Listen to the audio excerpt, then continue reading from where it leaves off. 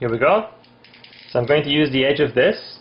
I'm already wearing protective glasses because this will cause a big, big spark. So please don't try this at home. So here we go. I'm going to connect the two terminals together. Ready? Here we go. I had my eyes closed, so I hope you guys saw that. Um, so that was the entire charge in the capacitor going through the short circuit tip of this. You can see it actually damaged the tip of my uh, of my exo exacto knife here. I don't know if you can that wouldn't focus on this very well. But now you can see that the voltage across the capacitor went down all the way to about minus 7 volts. So let's now do the same thing, but this time let's take this to the oscilloscope and connect the, uh, the probe on the voltage that I was telling you about, on the node I was telling you about. I'm interested in seeing I'm interested in looking at this voltage right here and seeing the oscillation I was telling you about. So let's take a look at that. Okay, here we are at the oscilloscope. I'm going to be using my older scope for this because uh, I'm going to be putting a very large voltage in it and I don't want to risk damaging my new digital scope. You can buy one of these older CRT based scope from eBay for about $200. They're very useful. I highly recommend it. So here's the flash circuit it's already powered up uh, using my power supply on the left. And I'm, not running this at its full capacity. I'm running it only from uh, 0.6 volts because I don't want to create a very large voltage. I just want to demonstrate the principle of operation. So what I'm going to do is I'm going to use the oscilloscope probe and look at the voltage right before and after the diode. So let me see if I can get this to focus. Uh, there we go almost.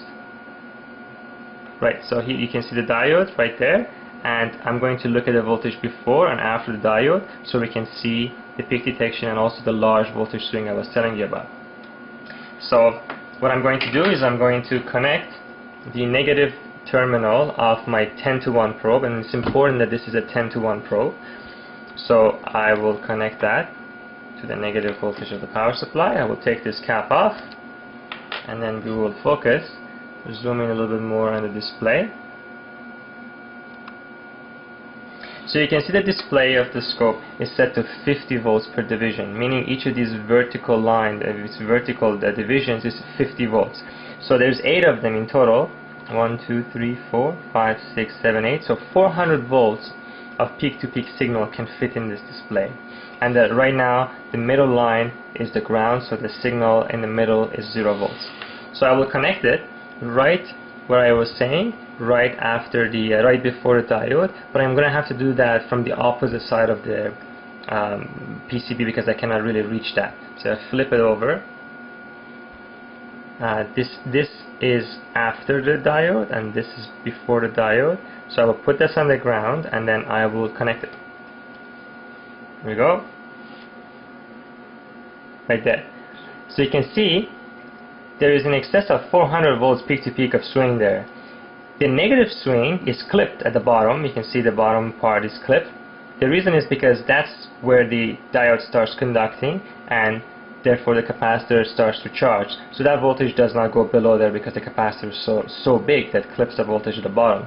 But you can see that right now uh, the voltage across the capacitor uh, you can tell by where the clipping happens must be around minus 200 minus 250 volts and if I connect this right to the capacitor you can see that it goes below the vertical uh, division uh, below the the lowest point here. Is because it's less than minus 200 volts.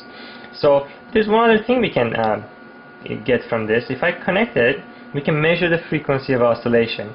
Each horizontal division is 50 microseconds. So if I connect it, we can see that the cycle repeats once every 100 microsecond. That's equal to 10 kilohertz. 10 kilohertz is audible, means you can hear 10 kilohertz. And in fact, you must have realized whenever you turn one of these things on that it makes that really annoying high frequency pitch. The reason that happens is because the frequency of oscillation is within the audible range and the coils in the transformer vibrate ever so slightly because of so much current in them and the magnetic field shifts them left and right very little just enough so that you can hear. So the whole circuit emits sound uh, when it's operating. So that's another reason why it makes that noise. So what I'm going to do now is that now we have spoken a lot about how this circuit works, looked at some of the voltage of the oscillation and a whole bunch of other Uh, characteristics. What I'm going to do now is I'm going to connect this to a Nixie tube and then see if we can power a Nixie tube with one of these things. So let's move back to the other side and let's try to do that. So here I have a Nixie tube. This Nixie tube shows numbers between 0 to 9 and it has also two decimal points. So the way these Nixie tubes work is that the, the gas inside this tube is a low pressure neon, sometimes mixed with mercury and argon. And you have around on the outside, you may be able to see it, there's this mesh that's connected all the way around and at the back is a solid plate and it's connected to one of these pins that's an, the anode pin and what ends up happening is by putting a large potential difference between this mesh on the outside and the little numbers on the inside that you may be able to see, you're going to excite the neon gas that's in there and the neon gas is going to glow. The exact principle of operation of how that happens and the physics that goes into it is an interesting read. I suggest that you take a look at it. But the principle of operation is what I said. The gas gets excited, the electrons move to higher energy bands on their way back down. Um, they emit uh, light in the frequency and the wavelength that we are able to see. And that happens near the cathode um, element, the, the cathode um, elements of this Nixie tube. And why does it happen near the cathode element? Oh, there's a little bit of physics that goes in there too. I recommend that you take a look at it. But in order to turn one of these things on, you need to apply somewhere between 150, 160 volts between the anode and the cathode of this, uh, of this particular model, and then you'll be able to turn those numbers on. These guys were invented and used back in the 40s or the 50s when uh, seven segment displays and LCD displays and vacuum fluorescent displays weren't available yet and you could show numbers with these so if you ever have had an old um, HP or a very old measurement equipment you will be able to find these Nixie tubes used as a display very very popular a lot of people build uh, very cool things with these like clocks or uh, some sort of uh, um, display depending on what kind of Nixie tube you can get a hold of I got a batch of 10 of them from eBay a while back. I can't remember, maybe about $50 or so. Very cool things to play with, but of course because they need 150 volts or so to turn them on, they're not the easiest things to use. So you would need a DC-DC converter. So I thought, why not? Let's try and power one of these things using a flash circuit because a flash circuit is capable of giving us that kind of voltages. So what I've done is that I've taken one of these guys and I have just placed it on top of one of these breadboards so that all the legs are nicely separated and there is a, a little resistor that's connected to the anode.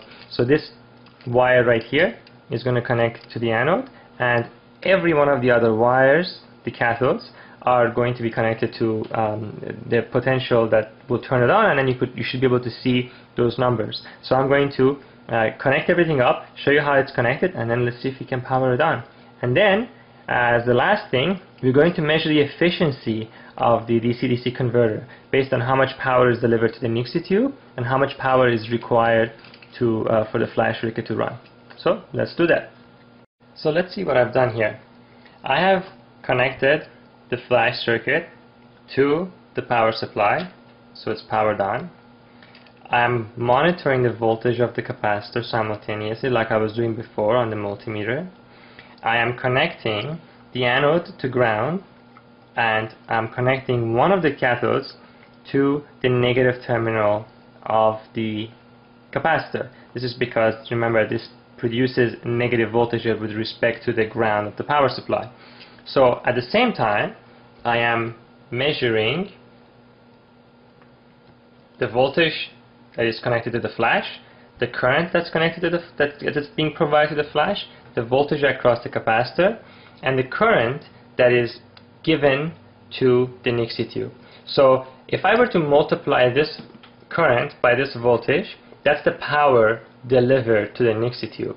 If I were to multiply this number with this number, that's the power delivered to the flash unit. So by dividing the result of this to this, I can get the efficiency of the DC-DC converter afterwards. But let's first turn on the Nixie tube and see what happens. So let me go all the way down.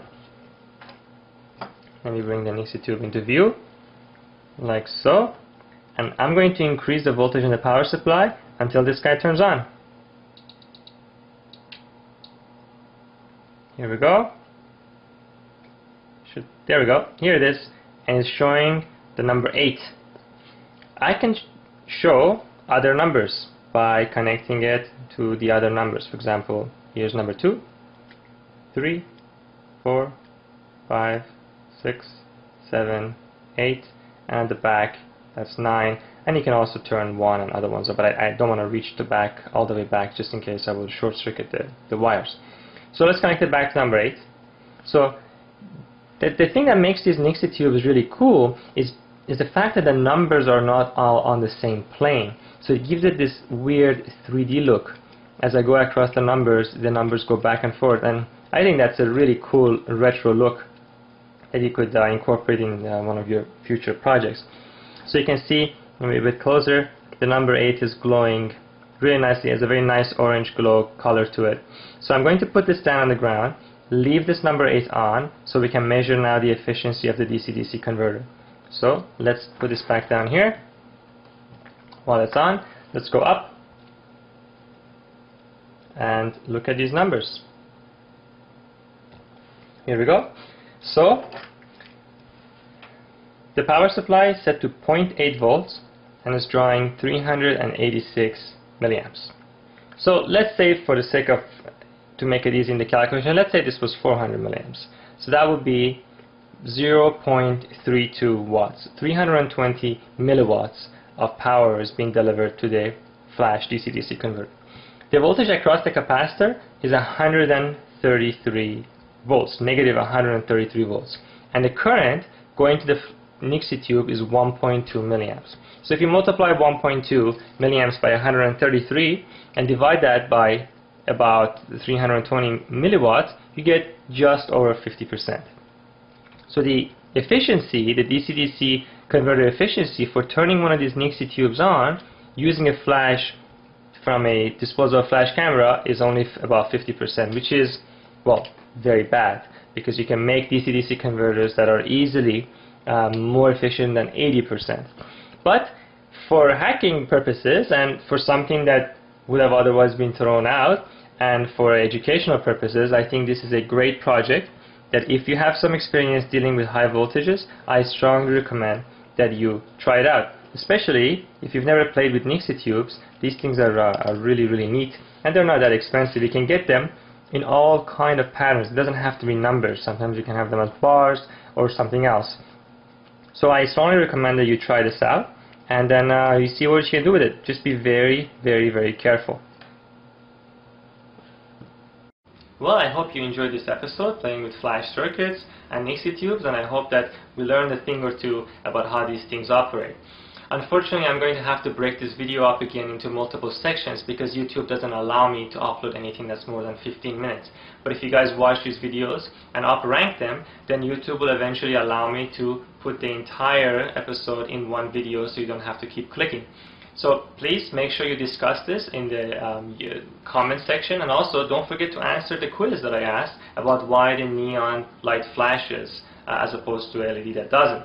And whoever gets the answer right will um, choose the next topic of the next episode. We have a lot of videos and a lot of equipment to review and a lot of interesting things coming in the future. So make sure you check back, subscribe, and um, see you soon.